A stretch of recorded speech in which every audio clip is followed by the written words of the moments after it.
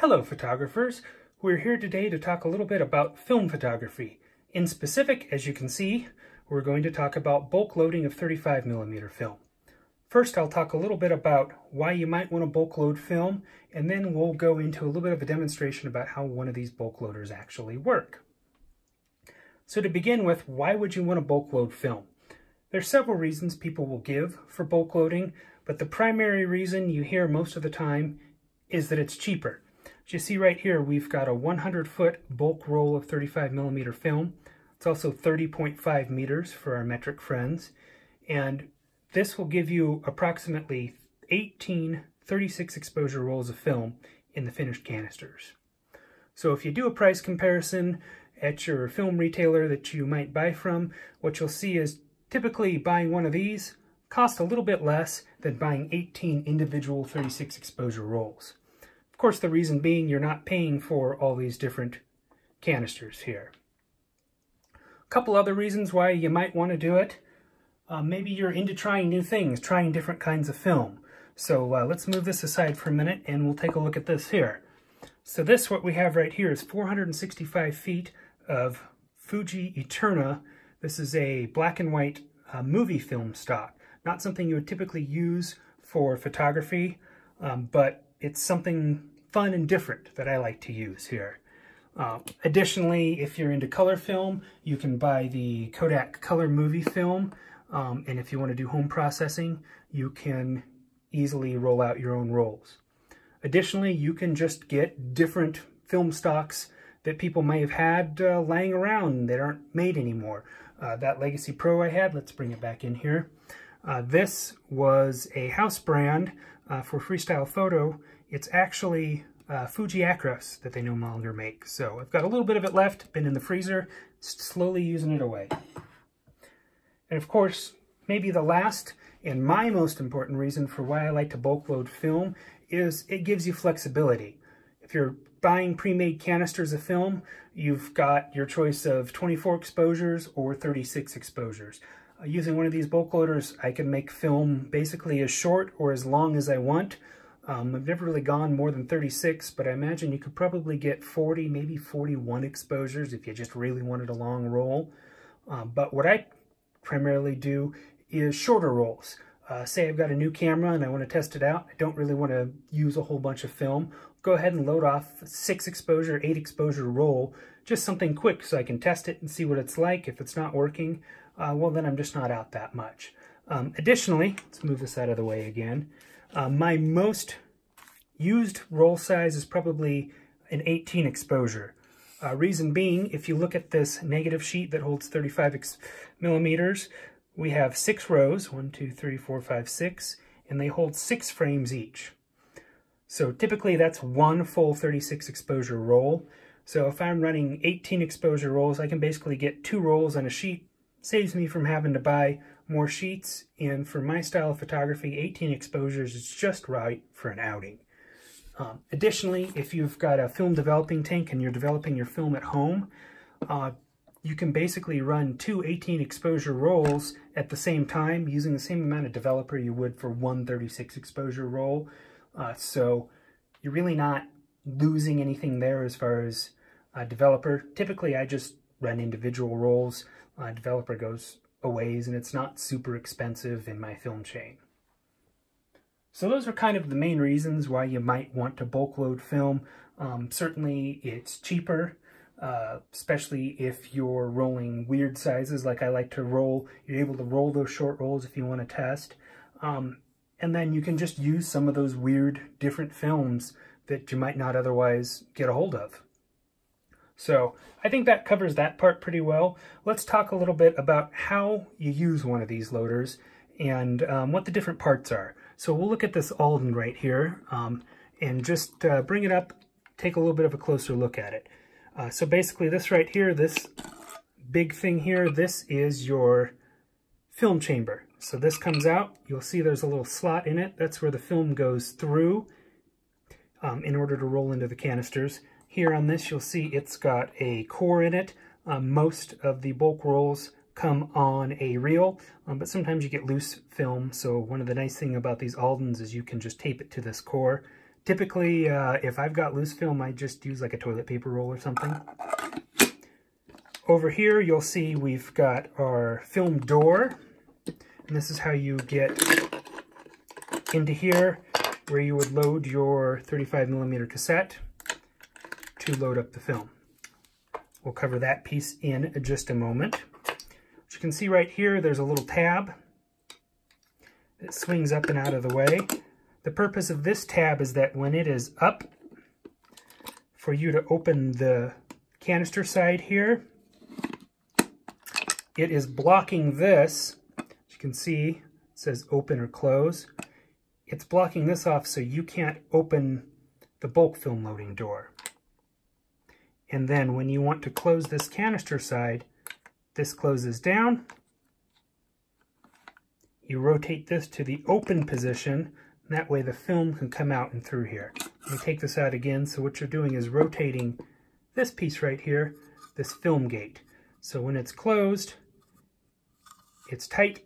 There's nothing that you can see through it. And then when it's open and every and this top door is closed, the film can come through. If we look over here, you'll see a film counter on here. And basically this is how you tell how many exposures you're using. Uh, this Alden also has a, another feature which basically tells you how many feet or meters you've used in a bulk roll. Kind of neat, but it basically only works if you're rolling 36 exposure film. If we come around to the other side here, we'll see a crank handle. Basically, this is just what you use to crank the film. So let's set this aside for a moment, and let's talk a little bit about the process of how you would actually load the film. So there's kind of four steps here, and some of them have to be done in the dark, some of them can be done in the light, uh, depending on how you want to do it, how familiar you are with film loading. So of course, the first thing you need to do is take your bulk film, go into your dark room, and you're going to have to open up this can. You see it's got a tape seal on it. Take this roll out, and remember, we're doing all of this in the dark here. We open up our film chamber and you insert your film into the film chamber. So you see here, I've made kind of a dummy roll and just taped it to a roll of tape so it has something to, to roll on. Again, this part has to be done in the dark. If you put this film out in the light, you've just ruined all that film that you bought. Once this is in, we need to take care that again, this film gate is wrapped around. And then we go ahead and tighten this knob down. Doesn't have to be super, super tight, just finger tight so that we can rotate this open and closed. Then what we're going to do is open up the door here. And if you can see down into there, again, we're still in the dark, you want to open up this film gate and you can reach in there with your fingers. Basically, you want to pull a little bit of this film out. On this Watson, you'll see there's a really nice handy-dandy little flip-up container here, or a little flip-up lever. Um, this does the same blocking that I talked about on the Alden. So once we've got this film out, again, remember, we are in the dark. We're going to go ahead and close this top, rotate the film gate to the closed position. So now you're bulk loaded, your film's in here, this film gate's closed, you can come out of your darkroom, and now you can use this handy dandy little lever to open up the top here. And what you'll see is with this lever open, you can't open the film gate. If you look in here, there's a little tiny sliver of film, but it's pinched off so no light's getting through. This next part here, you can do this in the light if you would like. I like to do it myself in the dark. Um, however, if you're new to loading film, you probably do want to do it in the light. Um, the reason I would say uh, that you might want to do this in the light is that um, it's just easier to tape the roll on um, if you don't have experience. So basically what we have to do is take this little piece of film that's sitting out here, pull it out just a little ways, and we're going to go ahead and tape it to our spool. So right here, I've already got my tape made out. Um, you can experiment with lots of different tapes. I've found that electrical tape works the best for me, super cheap. So basically we're going to take, put a little bit of tape on it, put our reel right here, wrap around, and make sure that the tape comes all the way around so that it is touching the back side of the film here. That way we have a good and tight connection. Also just want to make sure this isn't at any sort of angle or skewed there. Once that's on tight, you can go ahead and insert the reel into your reloadable canister. Um, this is another piece you definitely want to get with a bulk film loader. I myself prefer these metal style that just have pop-on lids. They look just like a regular old film canister other than these lids pop on and off a lot easier. They do make plastic ones. Never cared for them myself. I, I really do recommend the metal ones. So again, we want to pull this just a little bit further out so that we can drop the film here into the cassette holder. So we pull both the lever wind and the knob and the this little knob out. And then you just have to spin them a little bit until they pop all the way in. So now we see our films in here. And I don't know if you can see it real well, but there's actually sprocket holes right here.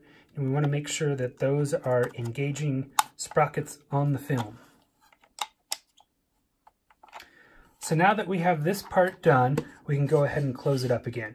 Remember, if you're just starting, go ahead and do this part in the light. The downside is that last frame, or maybe two frames, depending on how much of this film you pull out, is going to be exposed to light. Um, so you do need to remember to stop to basically two frames short. Um, if you've done it for a while, like I have, basically I just go ahead and do this part in the dark so I'm not losing that extra frame or two. So here we close the safety lever and we close the lid. And then we come around to the side here.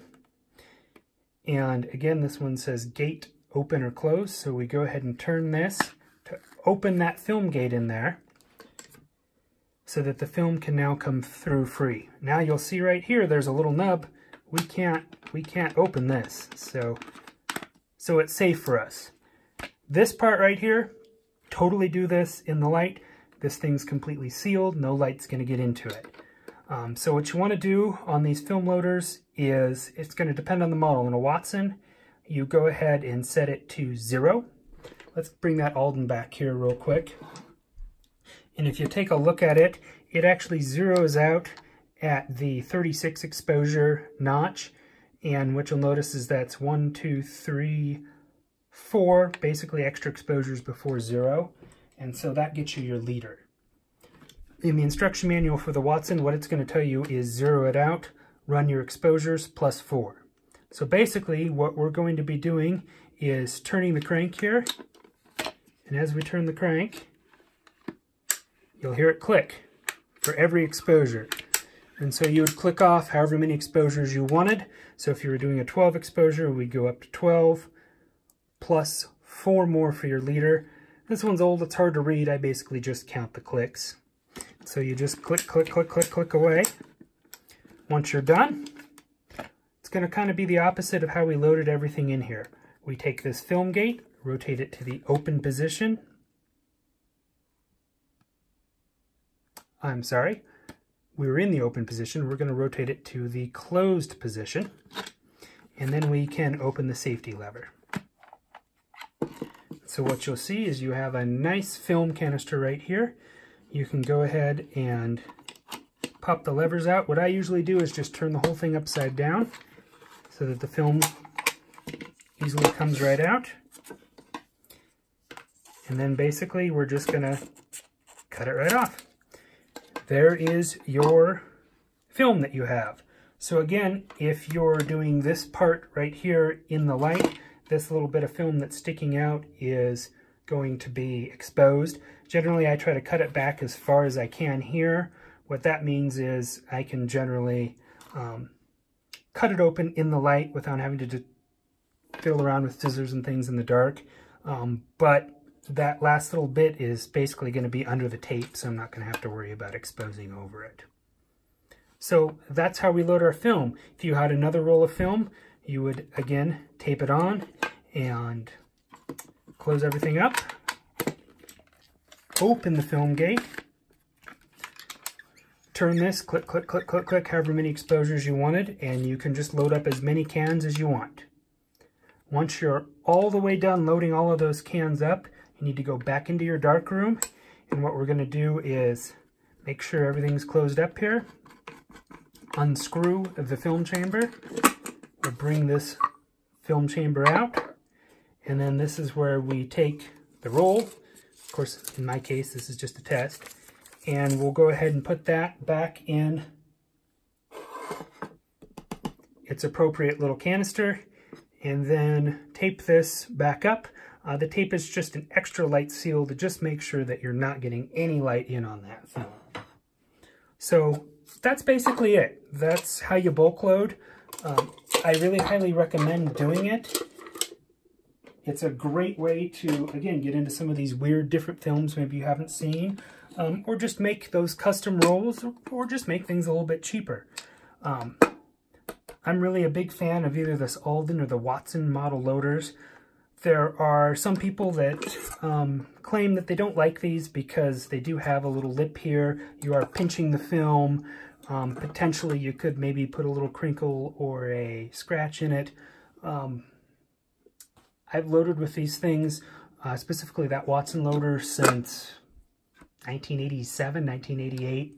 Never had any issues with uh, scratching or pinching or anything like that. One last little thing we want to talk about here is now that we've made our film, uh, you'll notice um, one problem.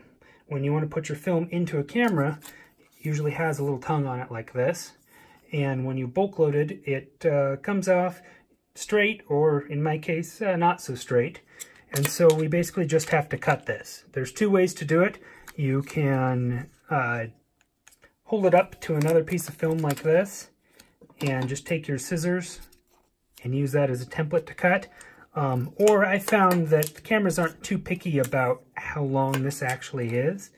So I just go ahead and try to round the corners, don't do a very good job, and just kind of freestyle it. So you'll see it's not perfect, but it's enough to fit into a camera and load up just properly. So that's kind of the main stuff I have. Um, I think everyone should try bulk loading. If you really like shooting film, it's a great way to um, tailor it to yourself. And of course, if you have any questions or comments, just uh, go ahead and leave those below. Thank you.